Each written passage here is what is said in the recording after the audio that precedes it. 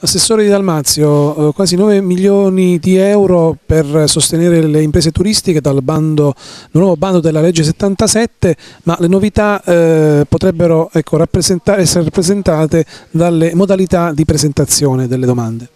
Sì, innanzitutto è da dire che questa è una legge che con fatica, con grande fatica, con, un lavoro certosino abbiamo messo insieme le risorse per presentare un programma che è indirizzato anche significativamente con delle linee di politica verso una premialità, verso chi investe sulla qualità, perché la sfida è sulla qualità soprattutto delle nostre imprese. Abbiamo cercato di convogliare il programma eh, con attenzione esclusivamente sui profili della ricettività e di tutto ciò che è annesso alla ricettività e agli stabilimenti balneari. Questo perché ritenevamo proprio che la dotazione finanziaria dovesse essere in qualche maniera funzionalizzata essendoci altri programmi che supportano altri tipi di attività non strettamente legati alla ricettività o alla ristorazione connessa alla ricettività o al benessere e quant'altro. E in secondo luogo è un programma aperto perché se ci saranno altre risorse siamo pronti a implementarlo, la modalità di presentazione, la modalità di presentazione fortunatamente dico io ho una difficoltà diciamo, organizzativa delle poste nel senso che ci sono alcuni uffici che aprono prima, alcuni uffici che hanno orari di apertura diversi, in più c'è una circolare delle poste che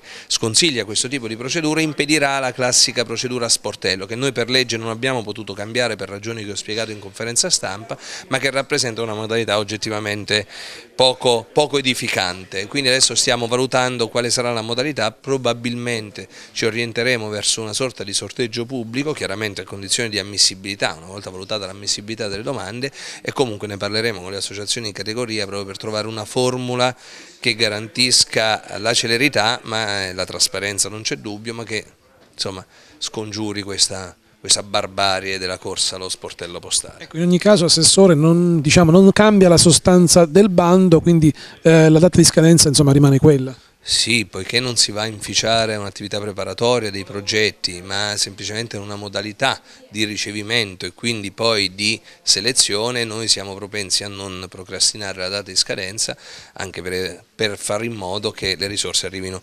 meglio e prima sul territorio.